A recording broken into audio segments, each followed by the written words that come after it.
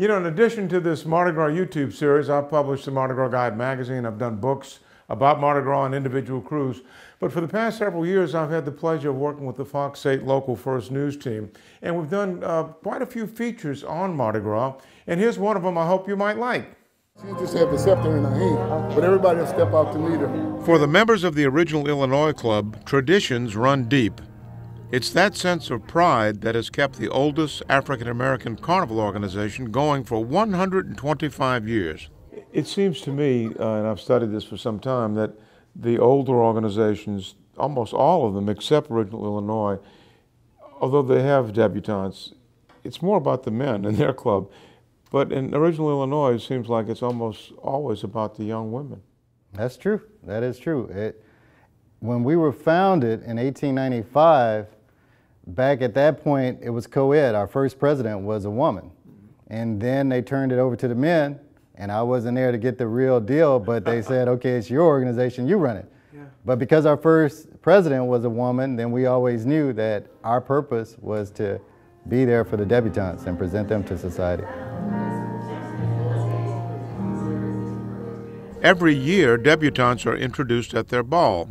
The Debs go through months of preparation. We want her to the outside of the circle. Everything from knowing how to properly walk, ready, left foot first, how to dress, and undergoing precise etiquette training. We do etiquette training.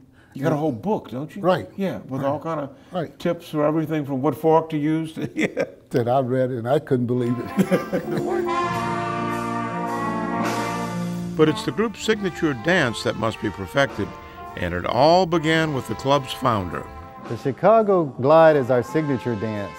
And so our founder, Mr. Wally Knight, he was also a dance instructor. And so Wally Knight said, okay, I see the ball and everybody does a waltz, but we need something that sets us apart. So as a dance instructor, he created the Chicago Glide. And the reason that we call it the Chicago Glide is because he was stationed in Chicago before he moved down to New Orleans. So he wanted to bring a little bit of that back, and then also that's why we're called Original Illinois Club.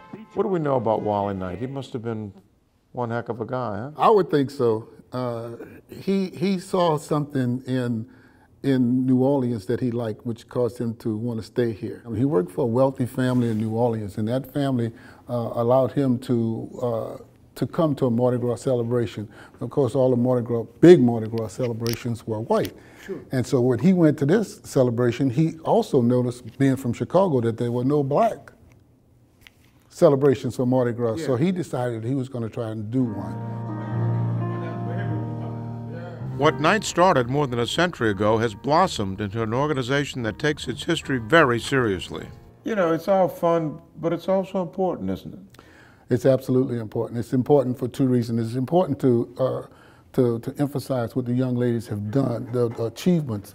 These young ladies go on to be leaders, leaders of the community, leaders of the world community. And it's important to keep up the tradition. It's important for us to tell the story of what happened a long time ago. In New Orleans, Arthur Hardy, Fox 8 Local First.